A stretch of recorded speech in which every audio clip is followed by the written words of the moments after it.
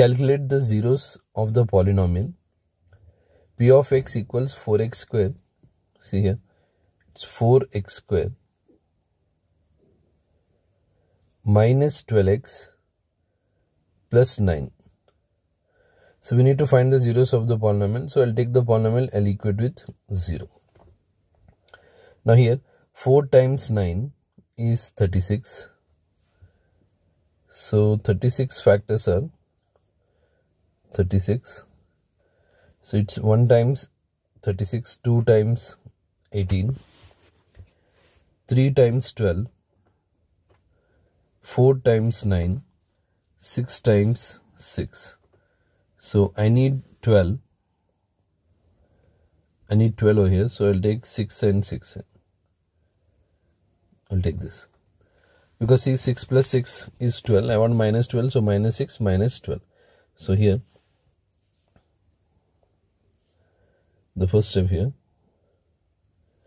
4x square minus 12x I'll change it as minus 6x minus 6x plus 9 equals 0 so now if we'll take 2x common in the first two terms I'll be left with 2x minus 3 minus 2 if I'll take common I'll be left with 2x minus 3 equals 0 so 2x minus 3 into 2x minus here 3 here if we'll take 3 common 2x minus 3 equals 0 so now 2x minus 3 equals 0 and the other one is 2x minus 3 equals 0 so here 2x equals 3 x equals 3 by 2 2x equals 3 x equals 3 by 2 the same problem we can solve by using the algebraic identity. 4x square minus 12x plus 9 4x square minus 12x plus 9 we need to find zeros so equal to 0 see it is total complete a perfect square and this is also a perfect square.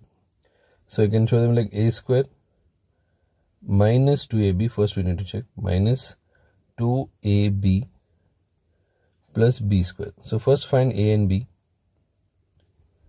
A I can write as 2x b I'll write as 3 so here 2x and 3 so if I'll get 12x see 2 times 2 4 4 times 3 12x so it is in the form of you can write the formula.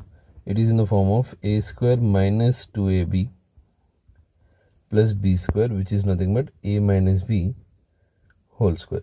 So this the above step I'll write as 2x minus 3 whole square. So as you need to get two zeros so you can rewrite this as 2x minus 3 into 2x minus 3 equals 0 so 2x minus 3 equals 0 2x minus 3 equals 0 so 2x equals 3 so x equals 3 by 2 same thing. 2x equals 3 x equals 3 by 2 so the zeros are 3 by 2 common 3 by 2